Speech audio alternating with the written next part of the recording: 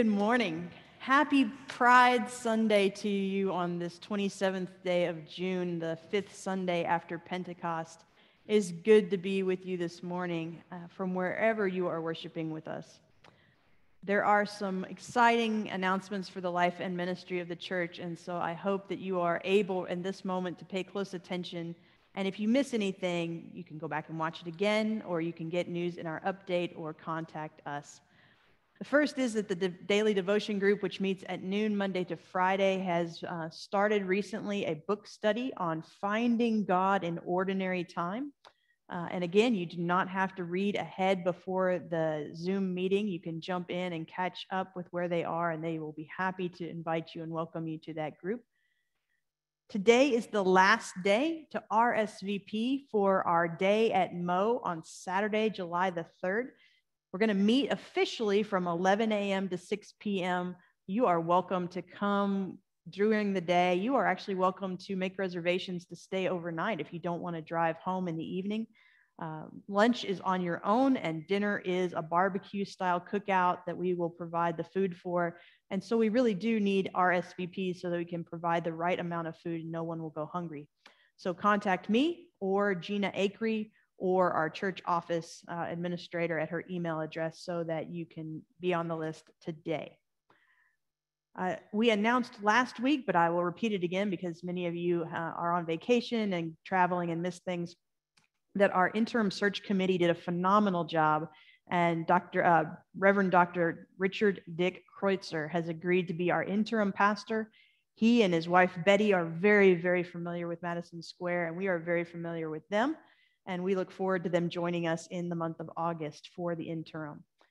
And uh, stay tuned. The reentry team has gathered more people. We are calling it the Reopening Council. It is including the worship team and the worship chairs and the part of parts of the tech team and others in leadership to kind of work out all the details of what it would mean to reopen the sanctuary. And we are going to present that plan to the session on Tuesday night and ask them to vote on it and to ask questions of us uh, and make sure that it is as reasonably safe to reopen as possible. And uh, so stay tuned next Sunday to hear announcements about how that meeting went and what the plan is to reopen our sanctuary.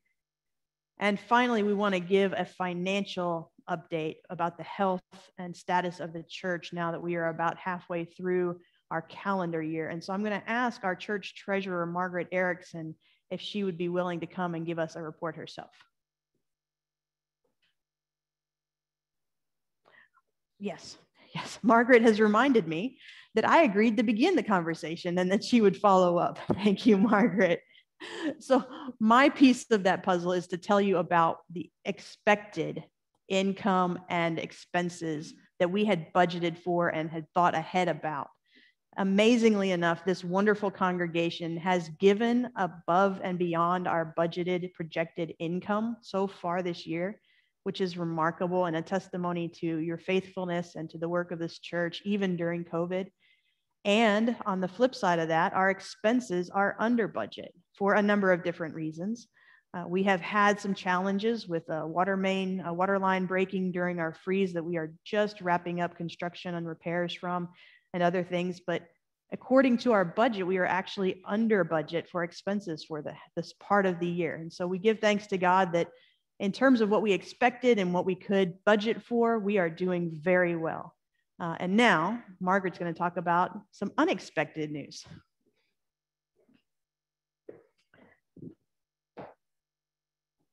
Good morning. My name is Margaret Erickson, and I'm the treasurer for Madison Square Church. This morning, I want to tell you about two past saints of Madison Square, Maydell and Walter Rowley. Here they are right here from the directory from, I think, 1992. Um, Maydell and Walter joined Madison Square in 1946, and they were here when I joined in 1979. One of my favorite memories about Walter is that he would greet the women of the church on Sunday morning at that breezeway door with camellias that he had picked from his bush that morning. You felt very lucky to get one of Walter's camellias. They were fabulous. They were very active in the church life. They were, this was their home and this was their family. Uh, sadly, Walter passed away in 1993 and Maydell followed in 1995. They didn't have children, so they, in their will, they left almost everything in their estate to Madison Square Church.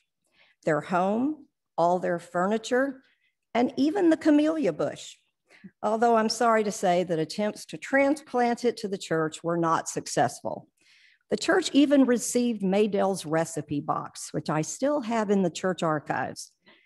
They also left financial gifts of over a million dollars, some of which were used to support the church through some troubled financial times, as well as for funding the Rowley Lecture Series that the church sponsored for several years. And they also left us a 313 acre ranch close to Big Springs, Texas, along with the mineral rights to that land.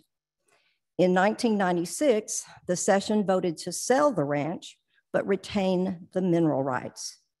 The Rowleys truly blessed the church that they had loved. Years passed, and the church received lease money for those mineral rights from various oil companies. The lease money was used to support the mission work of this church. Then, in the months prior to the pandemic, Laredo Petroleum, the current leaseholder, decided to drill eight slant wells on the property. Because of the pandemic's low oil prices, the wells did not go into production until January of this year. In April and May, the church received the first royalty deposits from the oil company, totaling $1,479,000. The bulk of the oil production from these wells is expected to last from 12 to 18 months. These funds are being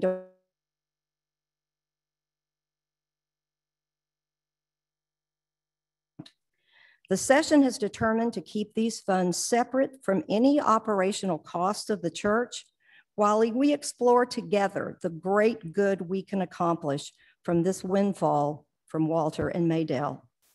I'm sure they are thrilled to know that their generous gift from 25 years ago will lead to whatever wonderful world changing missions Madison Square chooses to pursue in the future. Thank you. Thank you, Margaret, and thank you, Session. Thank you uh, to the Rowleys and to all the people throughout the years who have worked on renewing the lease and making sure that everything was in order with that. Uh, it is an enormous opportunity for us to continue sprint and whole and successful and to bless not only this campus and the people in it, but also our community and the world. And now, with that piece of really good news weighing on our hearts and our minds, let us prepare to worship God.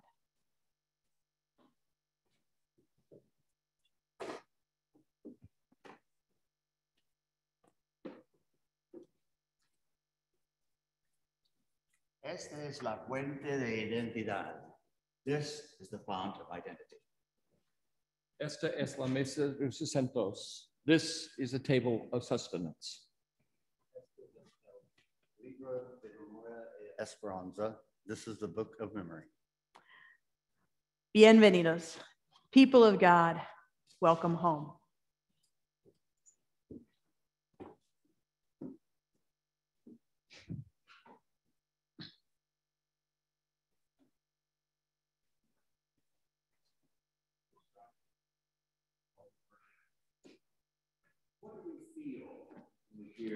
Bienvenidos every week.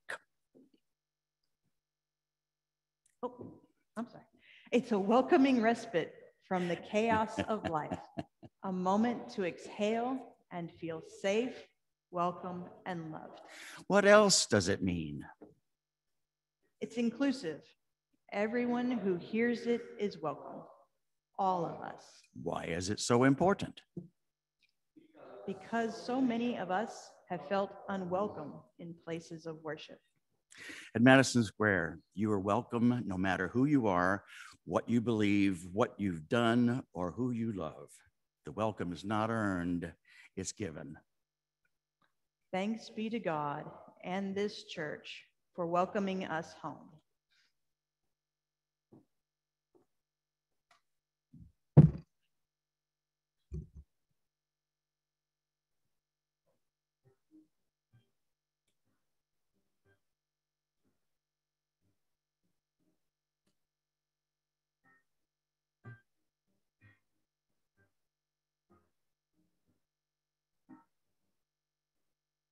Dream on, dream on, children of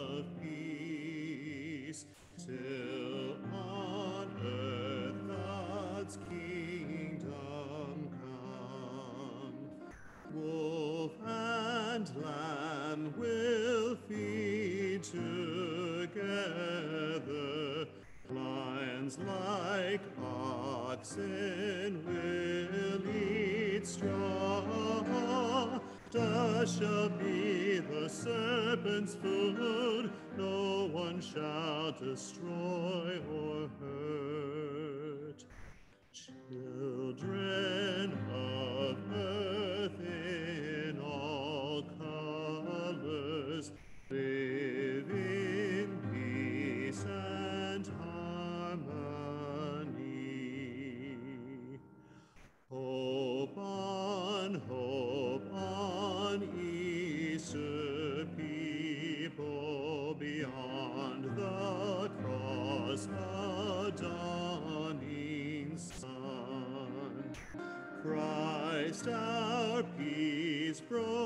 down all barriers, nation, culture, tribe, and clan, reconciling us to God. Christ made us one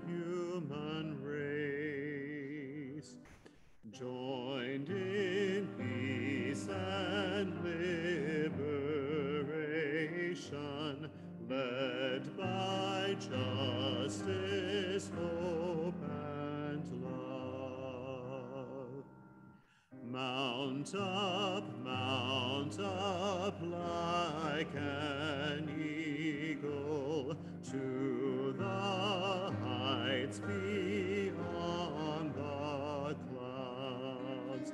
Strife and sorrow shall not stop you. Pain and tears shall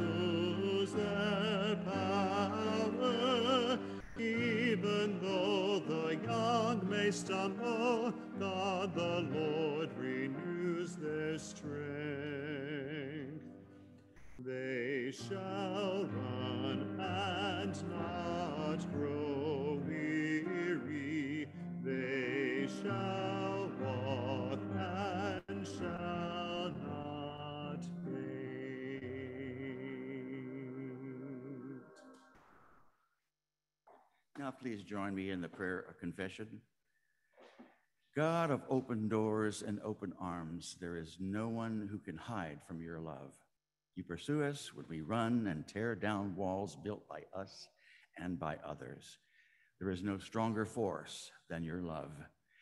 But we confess that while we are supposed to be your people and serve the world with the power of that love, we often withhold invitations to others and feel unwelcome ourselves in the worldwide church. We have a safe place here, and we don't want to shake things up with too many new people and ideas. We like the familiar comforts we've grown used to. Forgive us, God, for choosing to share the weekly welcome with the ones we know and trust, but hesitating to expand the welcome to strangers. There are no strangers in your eyes.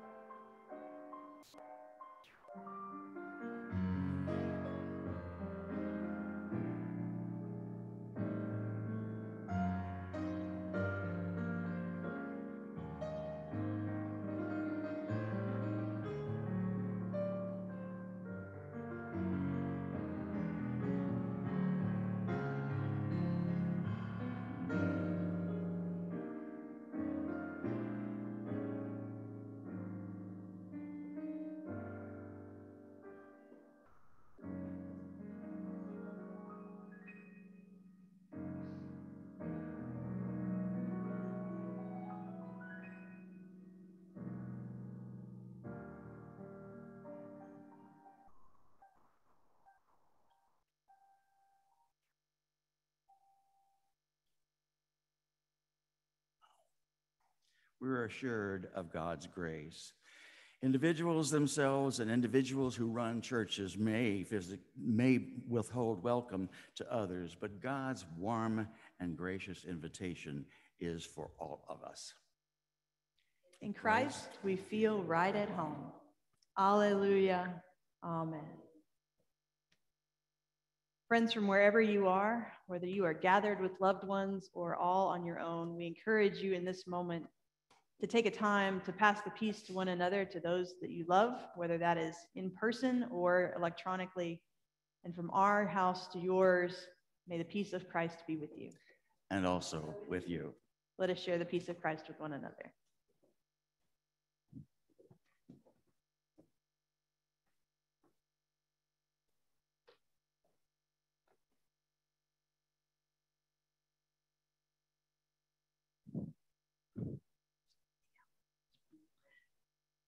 And now, those of you who are young and young at heart, it is time to gather closer to your screens. We have a special guest with us today to share a book that she has brought.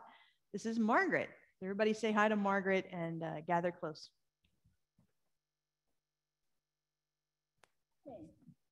Morning. Today in our service, we're going to talk about welcoming people. And if you were here, I'd ask you exactly what that meant. But I know you well enough to know that you would tell me that it means that everybody, come on, y'all come. Y'all are welcome. All y'all. All y'all, All. all y'all, as our mayor said this All week y'all. about Pride Week, all y'all are welcome. Um, and we know it's because God loves us. And so we have to show that love to the rest of the world. That's what we're about. And we welcome everyone. So today we're going to read a story about someone who was welcomed even when they weren't really quite sure who they were or where they belonged. Not quite War, Narwhal. Kelp was born deep in the ocean.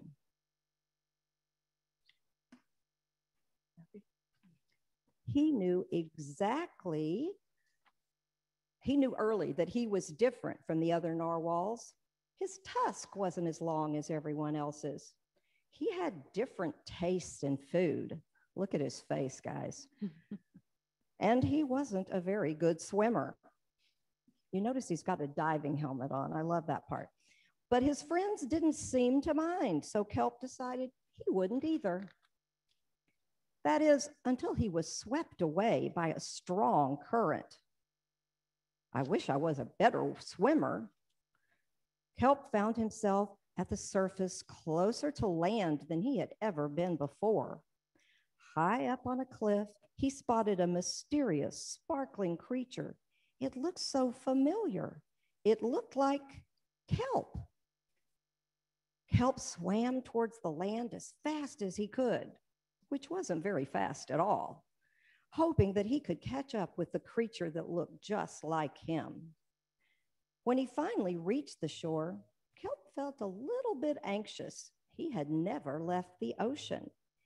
He was nervous about walking for the first time, but the land creatures made it look so easy. So first he likes tries to walk like a crab. That, that didn't work. Oof. It wasn't easy. Then he tried to walk like a frog. Ow. Eventually he got the hang of it.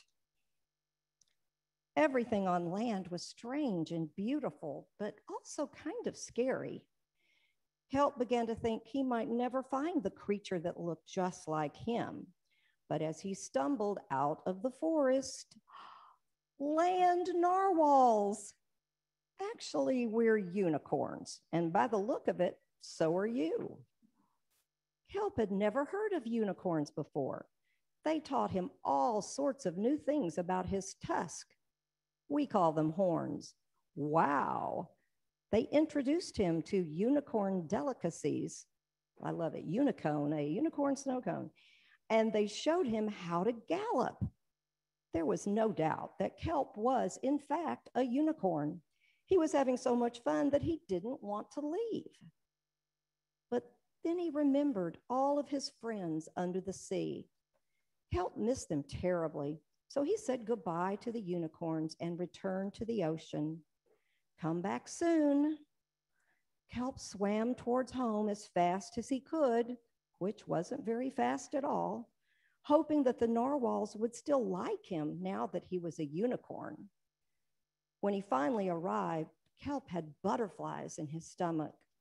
But look at the sign Welcome home, Kelp. Kelp took a deep breath and told his friends the news. It turns out I'm not a narwhal. Of course you aren't. I'm a unicorn. We all knew that. They took it quite well. Kelp was happy to be home, but now that he'd experienced life on land with the unicorns, he couldn't seem to forget them.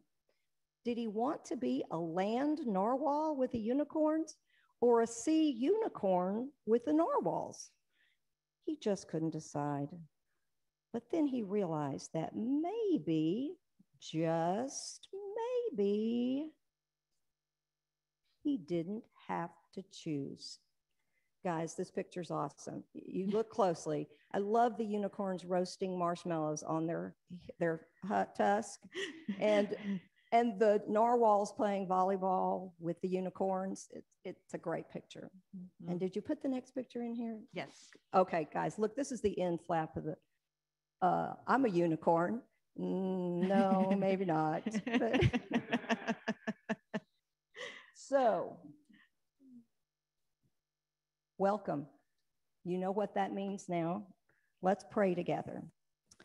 Lord, help us Lord, help us to show welcome to everyone, to show welcome to everyone, to know that we are always to know that we are always welcome in your house, welcome in your house, whoever we are. whoever we are. Amen. Amen. That was a pretty good book. I think that could serve as the sermon for today. But instead of uh, going right to the sermon, we're going to have another one of our minutes for session. Uh, and so we're going to welcome Frank Marasco, our elder, uh, who is the chair of Building and Grounds, to come give us a minute for his committee and what he does. As chairman of Building and Grounds, um, uh, um, I have to confess a, capricious and, and, a curiosity for some of the uh, sites that many of you don't get a chance to see. About four years ago, the cord that rang the bell uh, that welcomes everybody to, uh, to come to church uh, broke, and I had to get up there and crawl up there and, and, and replace that, that one inch hawser of a cord. And it just occurred to me, I wonder what it sounds like from up here in trying to get it to ring. I had to get some momentum, and all of a sudden it, it, would clang. And, and, and let me tell you, that was a really dumb thing to do. Another uh, uh, area that you may not be able to see if you, unless you're in the choir, is in these rooms here above, behind those grills, are the pipes that uh, uh we, we, we lovingly uh, uh, are proud of and, and, our, and our organist. Um, also, the original fresco on the back can be seen, some details there, um, and would like to be more uh, uh, in looking into that some more with maybe the Ericksons as we do a perhaps a, even a, a workshop or something. Okay, next slide. There's another one of the little bit of the, the back wall. Next slide seeing through the, the louvers here, more of that fresco. Next slide. Next slide. Another time we had uh, uh, uh, Live Oak Singers do a concert here uh, for it was their first Christmas concert, and I had to design something that we could mask off the, the church part of the, the, the, the sacristy here and um, be uh, next next slide and be easily uh, mounted and unmounted for their opening concert at the Christmas concert back then. Next slide. But we forgot about the next day. We had the presentation of our new members, and so we had to take all the scenery down and uh, for Sunday morning service. Next slide, and put it all back up for next slide, the final concert, and uh, it was a lot of fun.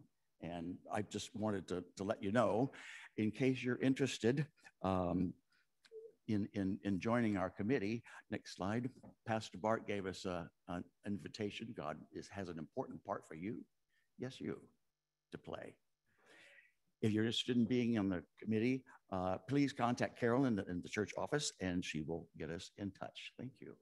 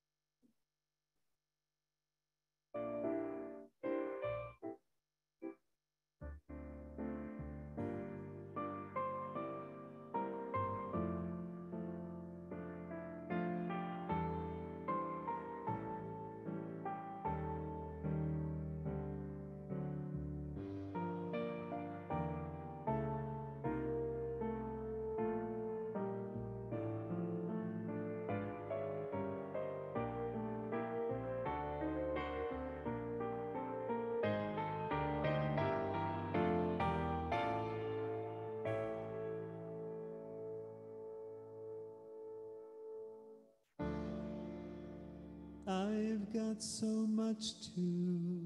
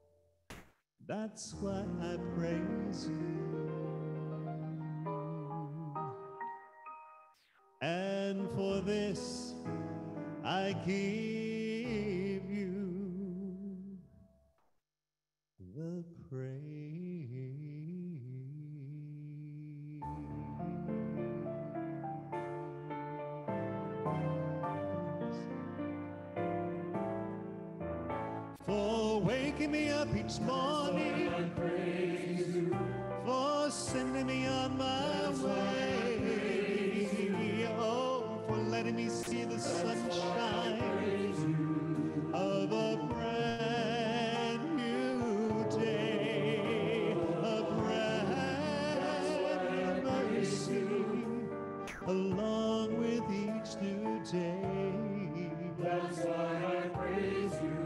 That's why I praise you, and for this I give you the praise.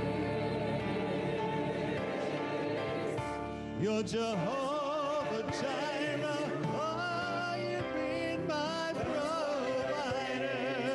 Oh, so many times you've met my needs. So many times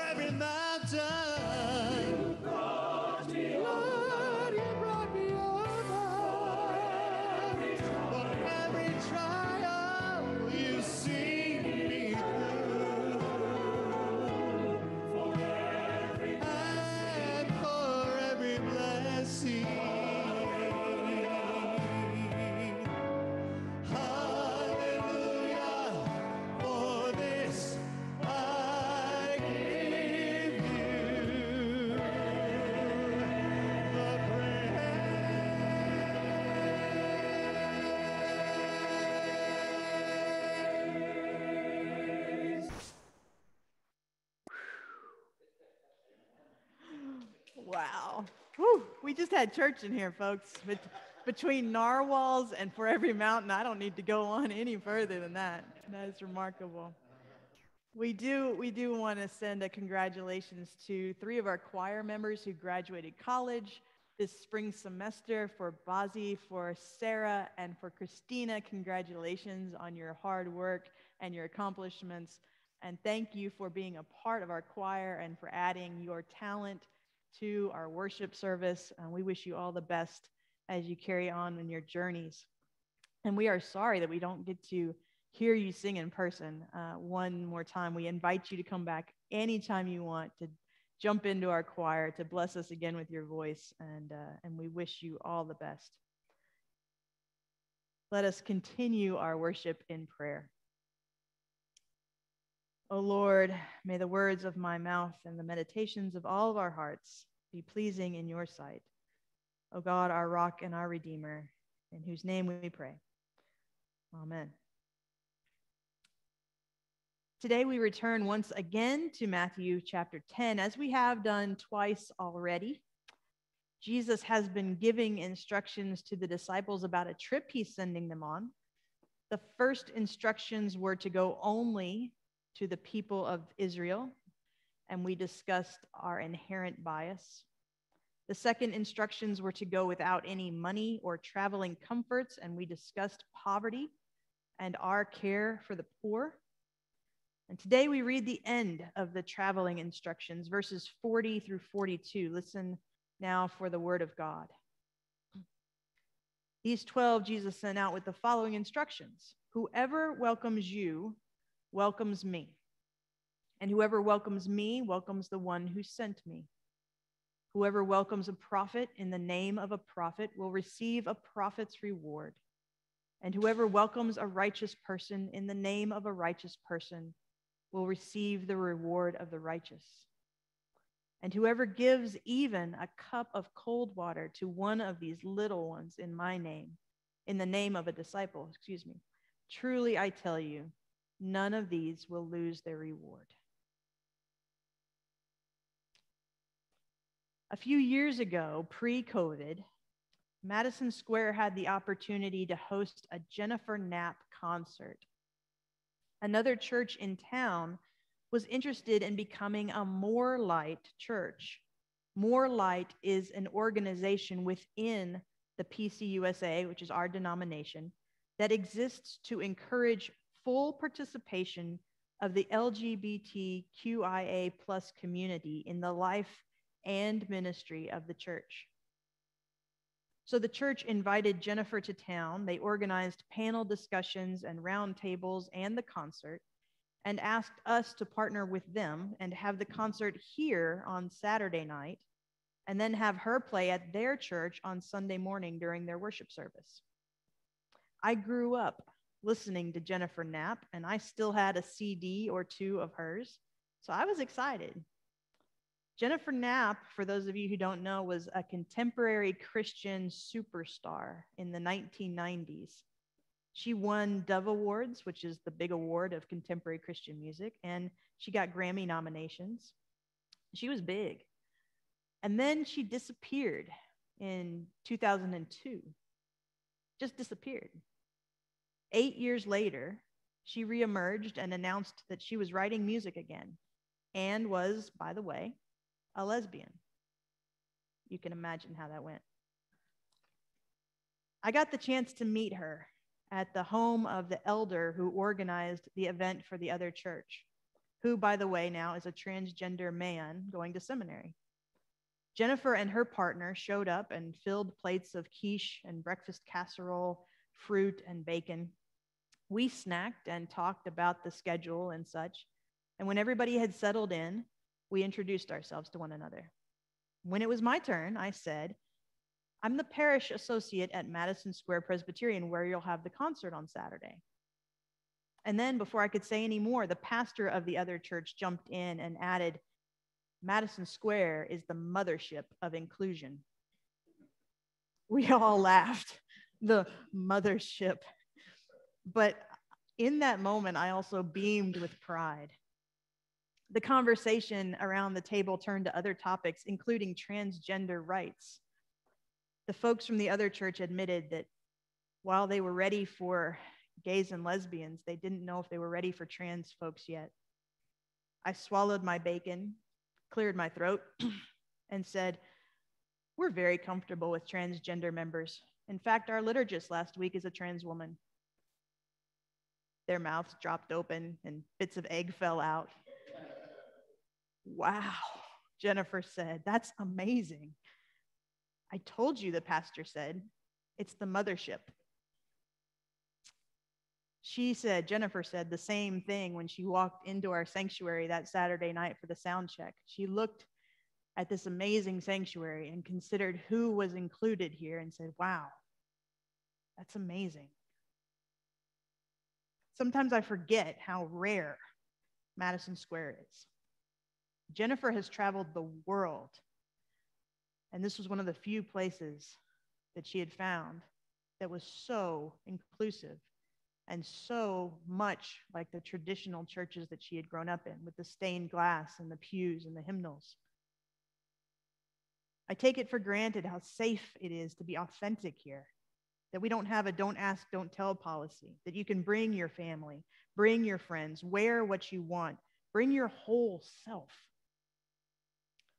A few years ago, when the momentum was moving in one direction, we actually asked ourselves as a church since other churches are becoming more open and affirming of the LGBTQIA community, how are we going to define ourselves in this downtown space if people who are currently driving 45 minutes to get here in a few years will have six to 10 other churches closer to their homes that are inclusive and that they would be welcome at? In 2019, before COVID, a different Presbyterian church than the one I mentioned earlier welcomed the Live Oak Singers, who Frank mentioned. The Live Oak Singers is an LGBTQIA plus and allies choir that was started here at Madison Square and has grown so much that they have needed larger space to practice and sing in. It was a big moment for that church to invite the choir into their sanctuary one of the choir members of the Live Oak Singers had been attending that church, and that church had grown to love that individual. And because of that relationship and that care that they had for that person, they were ready to take a chance and invite the whole choir for a fundraising concert. But I also realize that while the momentum was going in one direction for a while, things have not moved as fast as we had hoped for our community polarization of political views and a pandemic, and the slow gears of change with committees and subcommittees and church policy has slowed the pace of churches becoming open and affirming. In Mission Presbytery, our presbytery, seven churches are part of the More Light organization. Two of them are here in San Antonio, and five are in Austin the, the church that hosted the Jennifer Knapp weekend, some of their leadership that was pushing for that moved away and the church lost the momentum. They never joined More Light. And neither did the church that hosted the Live Oak Singers. It's just us and University Presbyterian, which is down the road. And in our country, momentum seems to have stalled out too. Or perhaps it would be better to say that the battles for justice and inclusion and healthcare and safety for the LGBTQIA plus community is a two steps forward, two steps back kind of dance that's leaving us exhausted from the fight.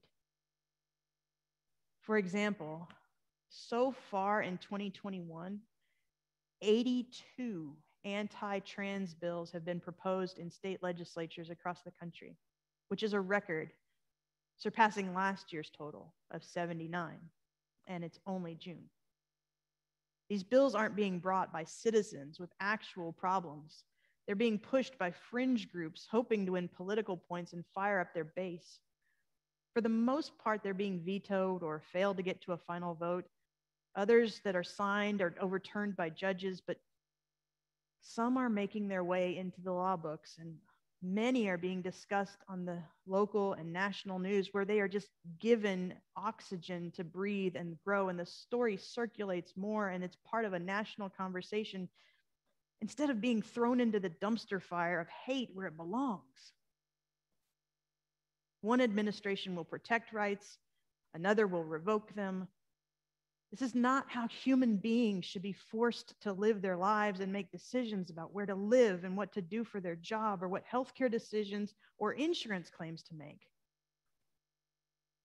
And while I think Pope Francis is a pretty great guy and all, I'm stunned that the US Conference of Catholic Bishops is drafting a document that would allow individual bishops the right to judge whether or not a politician or public figure who supports women's reproductive rights should be receiving the Eucharist. The last time I checked, it's not theirs to give. And in response, a quote has come from the Vatican The concern in the Vatican is not to use the access to the Eucharist as a political weapon. Amen. We say it quite often on the first Sunday of the month the table of sustenance is not Madison Square's table. It's not the Presbyterian Church's table, it's God's table. And we welcome anyone who is hungry for the bread of life to receive it, no matter who they vote for or who they love. Our welcome is who we are. It's who we have been and who we will continue to be. Being willing to welcome people is challenging. New people leave us vulnerable. We might be changed, or they might need more from us than they can give. They might challenge our traditions or theology. They might bring something new that we weren't expecting. They might stir the waters, but this Pride Sunday, I am proud to be Madison Square. I am proud to be the one who gets to say, Bienvenidos, people of God, welcome home. Because extending the welcome at the beginning of every service is one of the most important parts of worship here. The welcome is for everyone, for the lifelong Presbyterians, the lapsed or excommunicated Catholics, the born again Baptists, the ones who didn't grow up in church at all, the ones who were cast out, the ones who never really left but didn't quite agree with everything the church said. It's for the ones who need the church to be a hospital, to bandage wounds of exclusion or shame. It's for the ones who need the church to be a gym, to get folks in shape to get out in the world as healthier, stronger disciples for Jesus. It's for the tired who need a rest and for the energetic ones who need a place to serve. It's for the curious, the confident, the doubters, the skeptical, and the joyful. It's for the long timers who joined three installed pastors ago and the newbies who only started worshiping with us during COVID.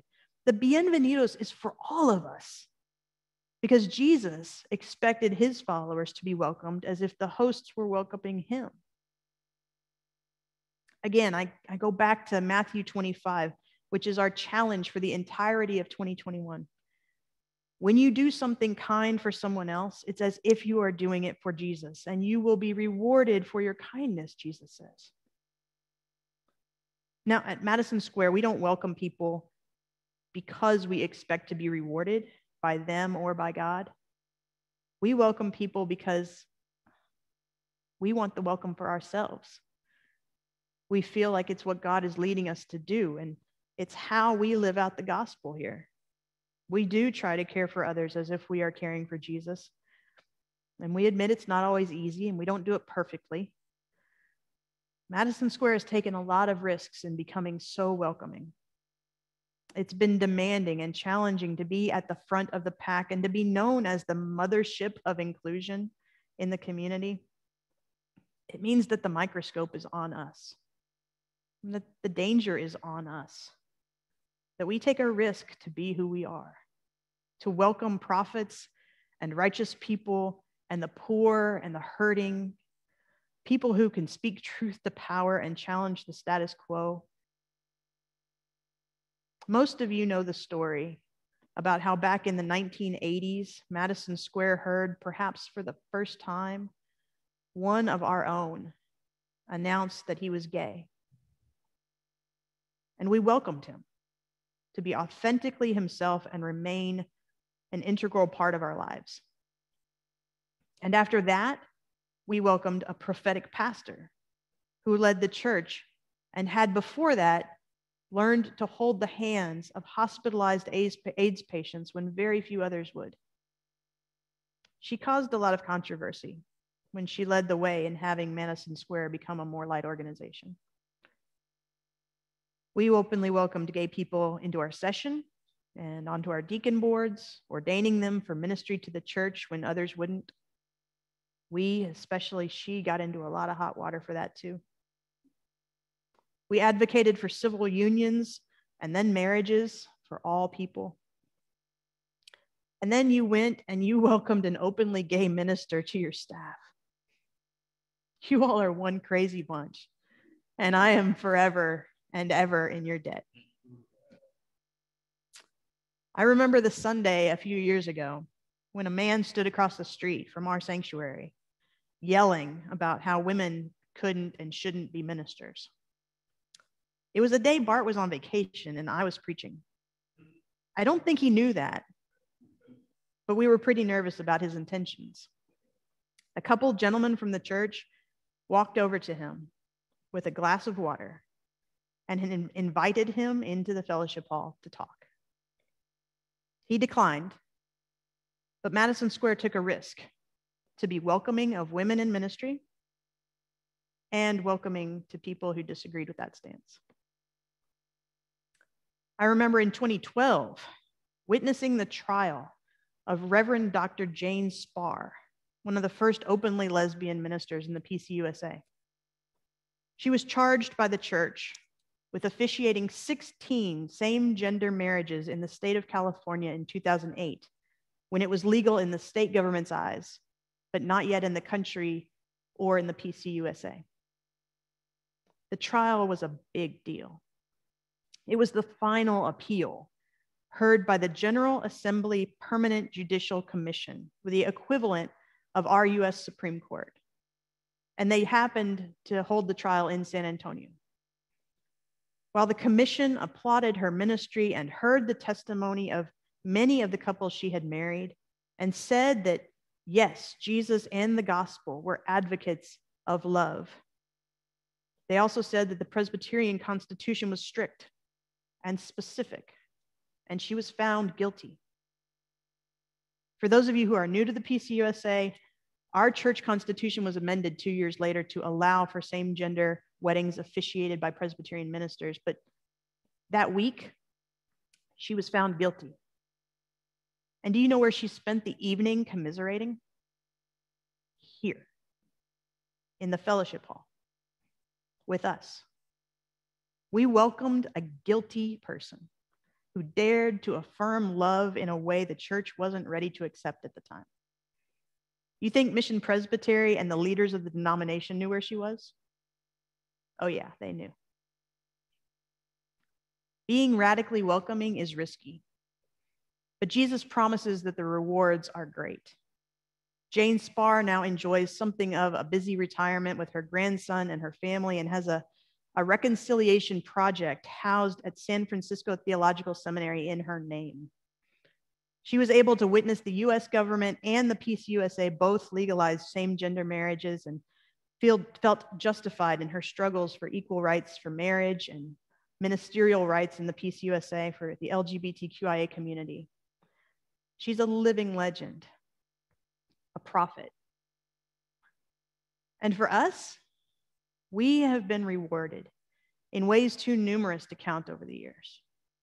Before COVID, we were dreaming of bigger things. During COVID, we had the resources to adapt and cope and continue to pay all of our staff their full wages and salaries.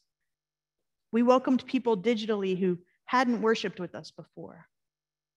But now, now we are receiving an incredible gift, a financial reward that I truly believe is directly tied to our commitment to being welcoming of prophetic and righteous people.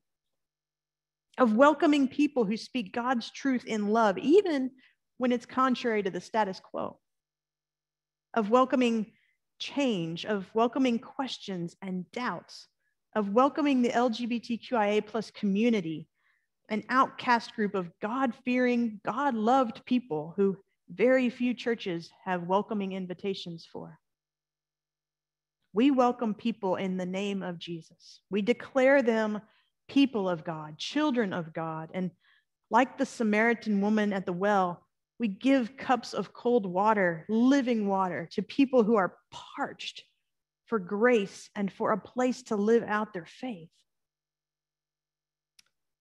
Madison Square is, at its core, at its foundation, a welcoming place.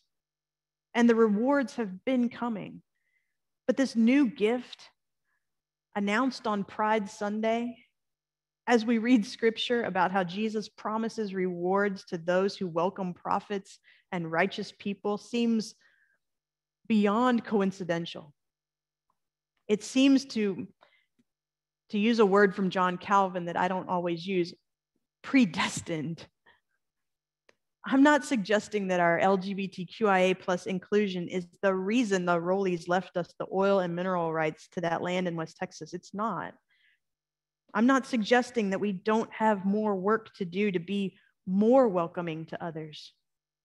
But I'm saying that Jesus promised rewards for those who took risks in welcoming people in his name. And with every bienvenidos, we do just that. Thanks be to God for the prophets who came our way and the people who have led and continue to lead this church, who extend the welcome week after week, and for the Rollies and others who have given generously to this church so that we can worry more about extending the welcome and less about worrying about the bottom line. Bienvenidos, people of God, welcome home. Amen.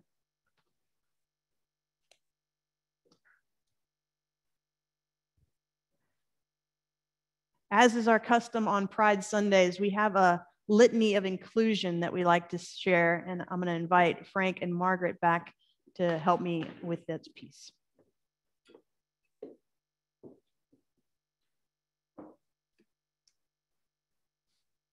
We are the beloved children of God. Made in the In the image of God, we are as diverse and unique as our fingerprints.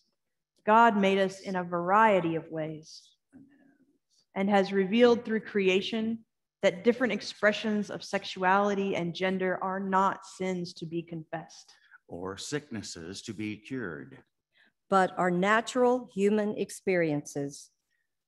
While some would restrict us from the table of the Lord, From church membership, From church leadership, from ordination, from jobs, from marriage, from adoption, because of their restricted view of the Bible, their restricted view of love, and their restricted view of reality.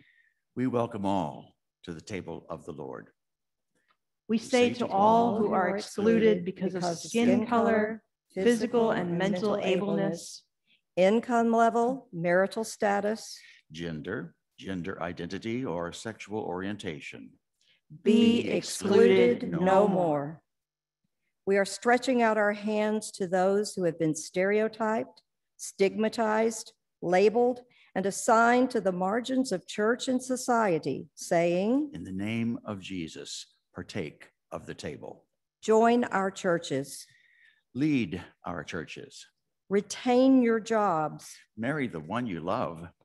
because, because we are all God's beloved children.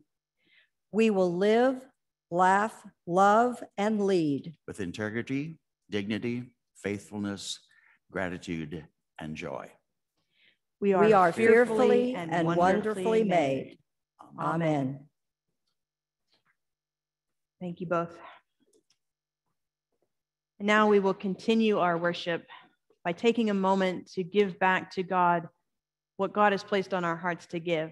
If part of your giving is through the life and ministry of Madison Square Presbyterian Church, we encourage you at this time to write a check or to make a note to yourself to make a digital uh, payment online as we continue to worship God.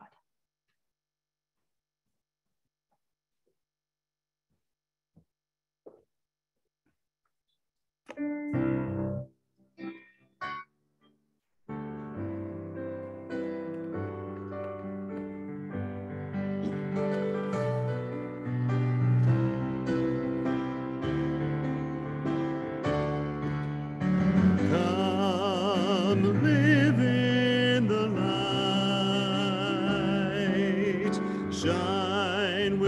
这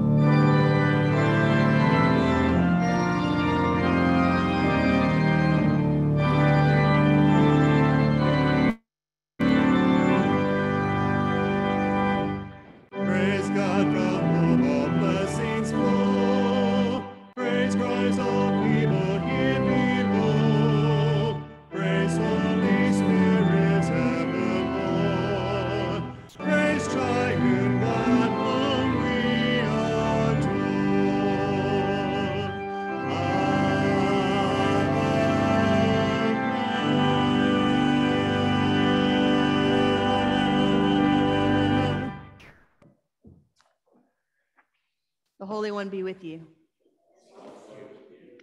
Lift up your hearts. Let us give thanks to our God.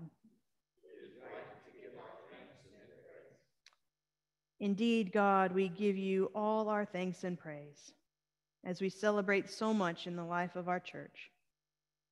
The saints who have gone before us have given us a financial foundation of strength and possibility a theological foundation of love and inclusion, and a foundation of our worship that begins with Bienvenidos. And we give you thanks for the many people who made Pride Sunday and the More Light Presbyterians and the PCUSA's constitutional changes possible to include LGBTQIA plus people in the full life and potential of work in the church. We give you thanks for the individuals at Madison Square who vulnerably shared their stories with others because change happens at the speed of relationships. We give you thanks for leaders who care more about the gospel truth than the budget or anything else, and for a congregation full of people who keep believing in God when other churches and denominations no longer felt like home. We pray for our church leaders today facing decisions about the immediate and long term future of our church. We pray for our interim, Reverend Kreutzer, as he prepares to join us on our journey, for our reentry team, session, deacons, and worship and tech teams. We pray for our sister church in Cuba and those at Madison Square building relationships with them. We pray for our friend Carl, the truck driver, whose MRI was postponed last week and desperately wants to go home. We pray for Emil and Melissa, Michelle and Damaso that they might have complete recoveries from their illnesses. We pray for Jonathan. We pray for Hank's continued recovery and healing. I pray for Marianne and her mother Sherry, who is nearing death, Marianne's father Rick, who's battling cancer, and Marianne's stepfather Tom, recovering from COVID and pneumonia. We pray for all of them and for Marianne's mental and physical strength as she deals with all of this. We pray for Sharon Hawthorne, who is suffering with end stage pancreatic cancer, and for her husband Tom. We pray for the friend of Linda Nance, who is living out her last days, for peace and comfort and grace. We pray, God, in thanks for the Rowleys and for others who have given generously to this church. And above all, God, we give you thanks for your son, who radically and shockingly welcomed people who had been unwelcome.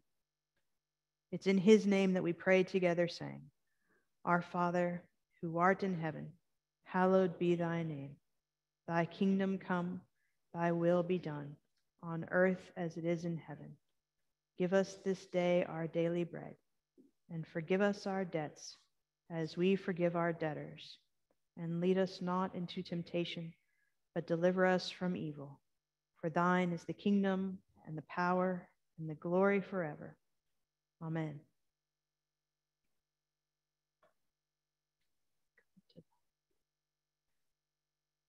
And now let us join together in our benediction.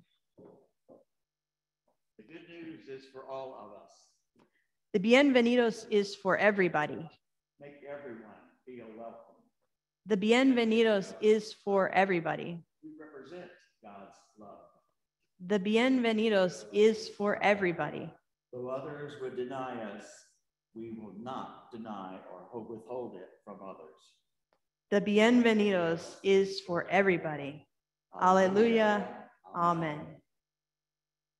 Amen.